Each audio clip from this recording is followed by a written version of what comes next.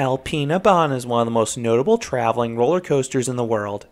This Schwarzkopf coaster often travels the German fair circuit, and I've been lucky enough to have ridden this coaster at two separate fairs. But is this elusive coaster worth seeking out? Find out in this review of Alpina Bahn. This coaster was built by Schwarzkopf for Oscar Bruch and it premiered back in 1983. At the time, it was the world's largest traveling roller coaster, that is until Olympia Looping debuted in 1989. The coaster had a bit of an identity crisis in its early years. It was known as Himalaya Bahn for its first few years, then was named Achterbahn, which is the German word for roller coaster, in 1987. The ride was then renamed Alpina Bahn in 1998, and the coasters retained that name ever since. This coaster's presentation is great for a portable coaster. The purple track and green supports look fine by day, but the ride really comes alive at night with the rainbow lights in the first few elements and the lights on the trains. And I love this ride's entrance. You have this classic chalet with some characters. As with most European fairs, you will not find a pay one price option. You need to pay per ride. I think it costs roughly 6 or 7 euros if I remember correctly as of 2022. I've experienced this coaster both at Dusseldorf's Rheinkirmes and Munich's Oktoberfest. Both fairs have been absolutely packed. Despite this, Alpina Bahn has been a near walk on. That's because of how efficiently this coaster is operated. The ride can run up to 5 trains, each seating 20 riders. That not only benefits the consumer who can board quickly, but it also allows the operators to maximize their throughput and revenue. You will not see any stacking here the trains will be in near constant motion. Part of that is because of how the ride is honestly overstaffed, and part of that is because the simple lap bars are easy to check. You won't find any extra seatbelts here. The ride received new trains from Gerstlauer a few years ago, and if you've ridden Hershey Park's Super Duper Looper in recent years, you'll be very familiar with these trains. They feel like the classic Schwarzkopf ones right down to the minimalistic lap bar. I was a bit nervous the crew wouldn't allow me to wait for a specific seat, but they had no issues as long as you don't slow down boarding for others. Since you're paying per ride, you will want the best seat, and I think that's easily the back row. You get the best airtime and laterals there. Once dispatched, you climb the curved 89 foot or 27 meter tall lift hill. The views are obviously dependent on the fair, but I'm willing to bet you're going to get a great view of the midway to your side. At the top, you have this small little dip, but then you rise up and approach the main drop an 85 foot or 26 meter tall twisted plunge. While you won't get any airtime here, the back row is in for a treat. They get some crazy laterals halfway down the drop.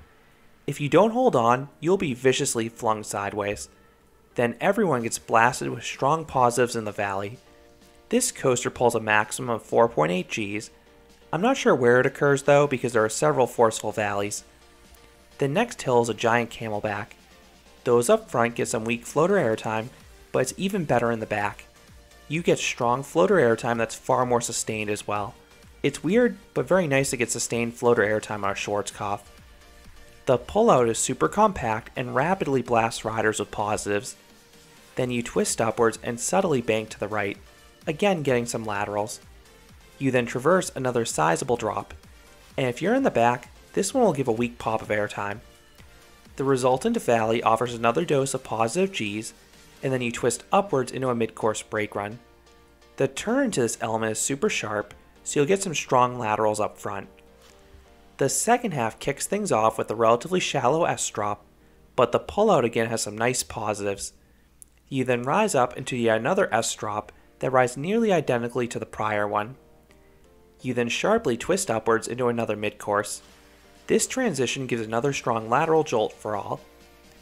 Next is a small dip that really doesn't do too much, but it shortly leads into a bank drop. It had great laterals as I expected, but it also gives a little pop of airtime for those in back. You then twist into this awesome S-hill. The front gets nice floater airtime, but those in back get some ejector airtime as you're yanked over the drop. This moment seemingly comes out of nowhere after the repetitive twists and turns.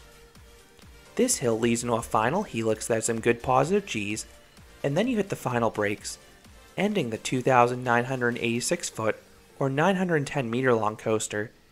It really is impressive to see a coaster this long at a carnival. The ride is fairly well paced because it holds its speed well, and it also has engaging elements. But what about the smoothness? Wouldn't a ride that's been assembled and disassembled this many times get rough? Not at all. This ride is super smooth. I could ride it all day, but that would burn a massive hole in my wallet. So, what would I rate Alpina Bahn? I would give this Travelin' Schwarzkopf an 8 out of 10. This is a great coaster for a fair and a good coaster overall. The ride is smooth and very forceful start to finish. The positives on the pullout and transitions prevent dead spots. Then the ride pops in a few surprising and satisfying moments of laterals and airtime for variety. Just make sure to ride this in the back for the best experience. This is one of my favorite traveling coasters without a doubt, and it's a must ride if you see it at a fair. The two I know routinely visits are Dusseldorf's Rheinkirmes in the summer and Munich Oktoberfest in the fall. So those are my thoughts on Alpina Bahn, the traveling German roller coaster. Have you ridden this Schwarzkopf? How do you think it stacks up to the other portable coasters out there? Let me know down in the comments.